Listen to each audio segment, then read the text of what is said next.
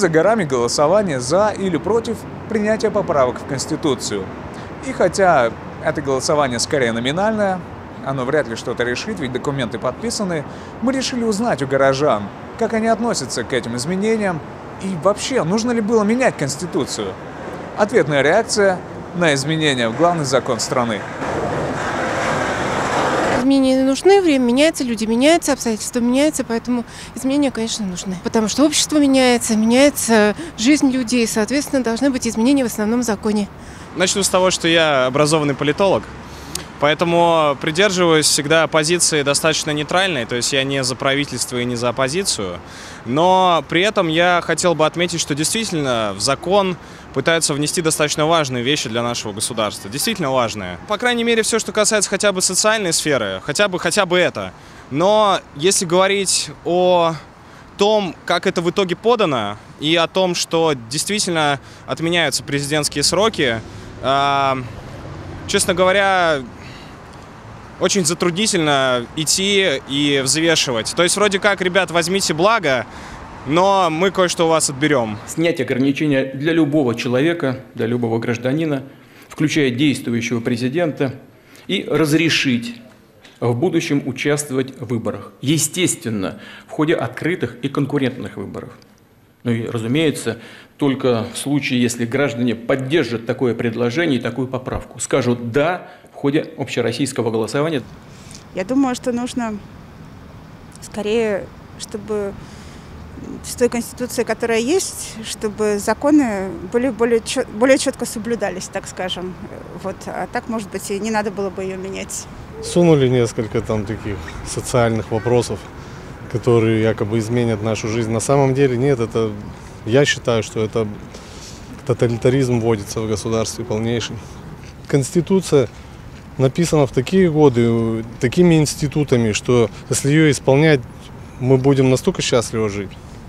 Я думаю, нечего там менять. Там очень мудрыми людьми все это делалось.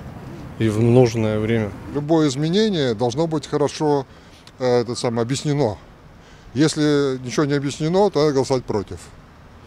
Вот если бы выступали эксперты, постоянно по телевидению, везде, даже по телевидению, может, мало смотрят, но больше информации одна позиция, другая позиция. А так, когда ничего нету, всегда есть сомнения в этом. Естественно, поэтому, а раз сомнения есть, всегда надо голосовать против. Вообще в Конституции менять ничего не надо в целом, потому что Конституция на то и существует, чтобы она была там столетиями.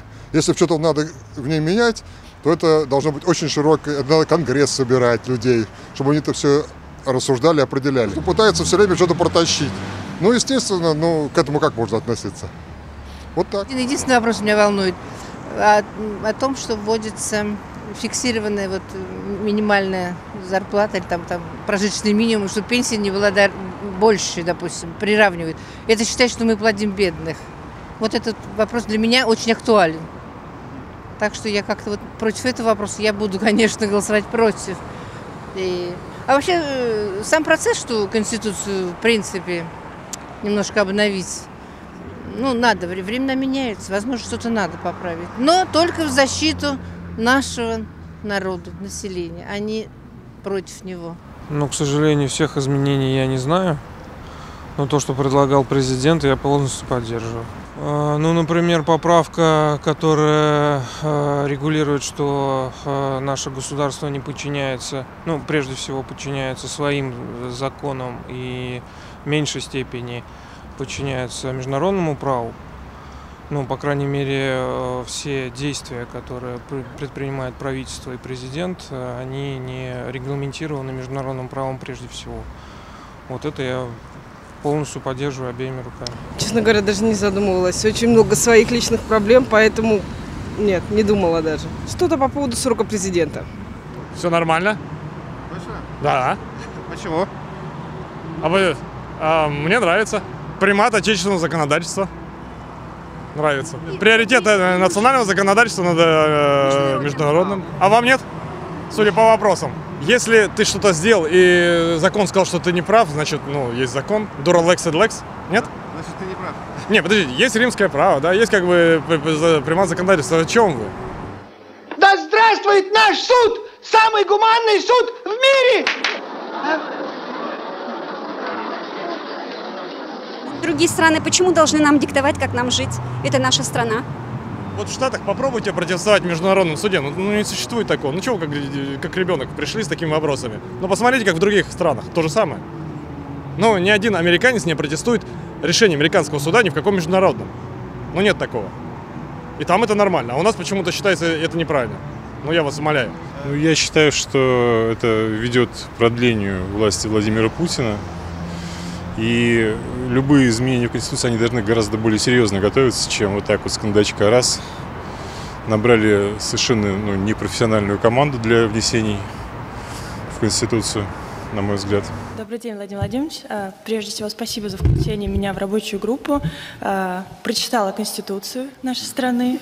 Это, это важно, потому что до этого как-то не, не было повода и необходимости, а я теперь понимаю, что это очень важная книга, и читать ее нужно всем. Узнала очень много интересного. Еще пугает вот этот, этот момент отказа э, от э, приоритета решения зарубежных судов над нашими. Действительно, Конституция – это основной нормативно-правовой акт, который, в принципе, э, ну, написан действительно э, умными, знающими людьми, и дополнения никакого не требует абсолютно. Если мы будем все исполнять, как там написано, ну и не только мы, а и правительство, и все, и в том числе президент, то мы только будем все довольны и счастливы. Да мне ничего, не могу об этом сказать, не слежу за новостями. Слышал то, что какие-то изменения, но у меня помимо этого еще своих дел достаточно. Кому-то понятно, зачем это ему необходимо, но я не знаю, мне кажется, у нас была так нормальная конституция, можно оставить такой, как есть сейчас. Ее нужно оставить? Ну, я бы оставила, но я не юрист и не могу вам процитировать конституцию, но знаю, я не вижу каких-то больших предпосылок к ее изменению.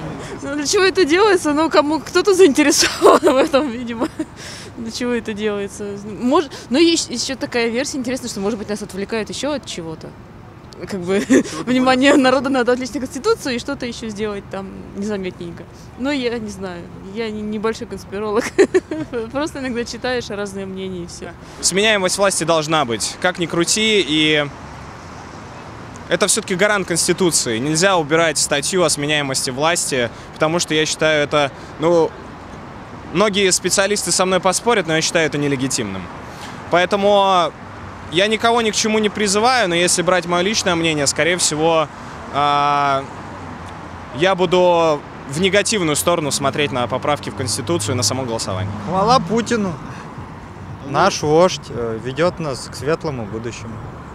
Верим, полностью доверяем. Я не в курсе. У меня телевизора нет. Положительно отношусь. И изменения нуждаются в Конституции. А зачем они? В дополнениях, скажем так. Минимум, что территория, какая она сейчас есть, значит она такая незыблемая, никого не отдадим. Что обсуждать это и бессмысленно. Те же самые Курилы обсуждать и тому подобное. Брак, семья состоит из папы и мамы, да, это с учетом нынешних реалий тоже важно. Если там еще 20-30 лет назад никому в голову бы это не пришло, да, наверное, надо это внести все-таки. Ну, даже не наверное, а надо. Потому что для кого-то это неочевидные вещи, да, могут быть. Можно трактовать так и так семью, что за рубежом э, и делается, да, и навязывается нам. Не знаю, мне изменения не нравятся. Почему? Но мне кажется, что это коснется обычного человека и не в лучшую сторону. То есть, может быть, возможно, ограничение свобод или что-то так, э, в этом роде? Ну, что-то в этом роде. Вообще, как бы страшновато таких перемен. И мне кажется, что это, ну, ну, не знаю, не очень правильно. Но я обыватель, и у меня, может быть, не очень правильное мнение. Конституция, я не знаю Конституции, к сожалению. К сожалению, я Конституцию не читал. Изменения, которые будут, они сейчас на что направлены? На то, чтобы лучше жизнь народу сделать или... Я думаю, что на улучшение, конечно. Конечно, на улучшение. Если на улучшение, конечно. Ну, в целях изменения каких-то реформ в России, типа, на в лучшую сторону, надеюсь. Да, нормально. В принципе, при Путине. Ну, что-то рубль, правда, падает. Это не радует только. А так все более-менее нормально. Курс у нас плавающий, мы курс не комментируем. Но, тем не менее, хочу сказать, да, никакого уровня ни психологического, ни иного, э, как триггера для того, чтобы мы начали предпринимать действия по, по курсу, нет. Ну, на голосование пойдете, да? Ну, наверное, постараюсь, да. Я буду против голосовать изменения Конституции. Это единственный закон, который незыблем. Его нельзя изменять. Наверное, не пойду. Нет у меня пока четкого мнения. Э, Я не знаю, но если я пойду, то буду голосовать против. Да, конечно, я схожу, оценю. Я считаю, что гражданский долг все равно как бы, хотя бы присутствовать в этом мероприятии. Я обязательно пойду, потому что я работаю в госструктуре, у нас нельзя не прийти. Вот, э, но буду голосовать, да. Голосовать, я думаю, да, то, что мы пойдем, потому что, ну, такие изменения, они ни к чему хорошему не приведут. Ну, я думаю, я пойду голосовать против. Потому что, ну, если, конечно, совсем коронавирус нас тут всех не скосит, то надо пойти и все-таки проголосовать. Вот ближе к этому я, я вот вникну в эту тему и подумаю, сейчас однозначно не могу ответить. Ну, раз Путин сказал, значит, пойду. Он же наш вождь, ведет нас к светлому будущему. С вероятностью 95% пойду. Но я вижу, что происходит э, достаточно тяжелая ситуация, связанная с распространением вируса, и есть уже запрет на мероприятия э, до 30 апреля в Санкт-Петербурге. Поэтому, наверное, сходить стоит. Все-таки это гражданская позиция, ее надо проявлять. Я работал действительно в избирательной э, комиссии какое-то время. И, э, ну, у нас э, вот в Автово на участке все было в порядке, правда. Ни разу не было каруселей, еще каких-то. Но на соседних участках действительно происходили и вбросы, и мы обо всем этом знали. И, честно говоря, мне кажется, здесь даже проблема не самих выборов, а проблема тех людей, которые занимают а, какие-то должностные полномочия в избирательных кампаниях, а, в центральной избирательной системе и во всем этом. Поэтому вопрос достаточно неоднозначный. То есть, как бы, все мы все вроде как понимаем, но при этом я действительно на своем опыте могу сказать, что не все так плохо. То есть, как бы, оно такое 50-50, лотерея. То есть, вроде как, пойти стоит отдать голос, но как это все обернется, это действительно большой такой вопрос, и он очень неочевидный и непонятный. Возможно, Путин будет до 1936 года. Как вам эта перспектива? Я не против. Дру- Я абсолютно не против, потому что другого кандидата я, допустим, не вижу. А, э, возможно, же их не допускают, поэтому вы и не видите. Возможно.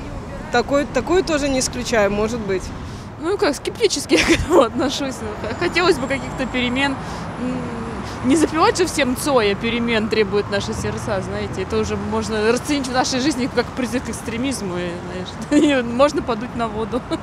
Ну, понимаете, я трусливый человек, и мне не хочется сидеть в тюрьме, поэтому, да. Поэтому просто ходишь молча, грустишь. Я не знаю, мне без разницы, если честно. Да, ну пусть остается, я не против. Я не знаю, ну мне как нейтрально отношусь к этой теме. Да главное, что Путин знает, что делает, наверное, так.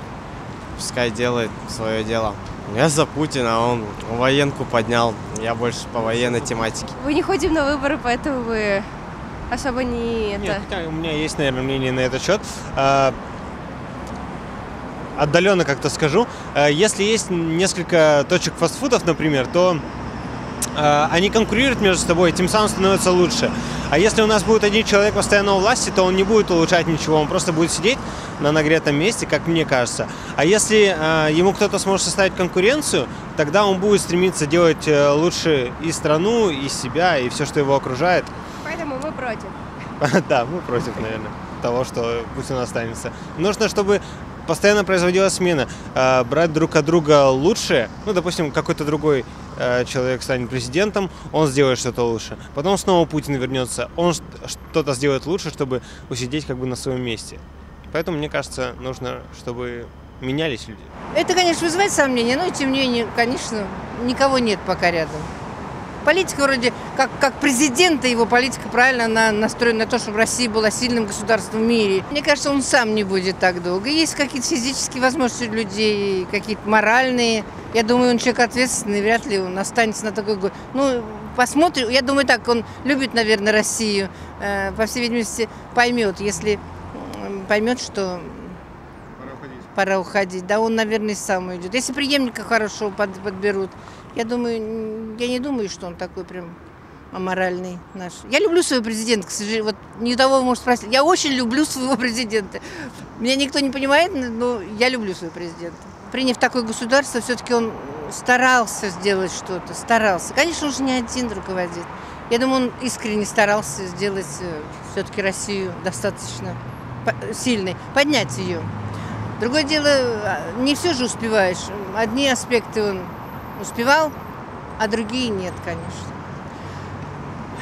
Нет нашей России. В России у нас нет хороших руководителей. Не было, может быть, не было. А так, конечно.